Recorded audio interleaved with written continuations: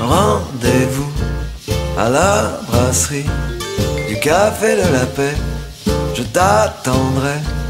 Je porte un feutre de couleur neutre et mon par-dessus n'est pas brillant non plus. Je poserai mon journal sur le bar devant moi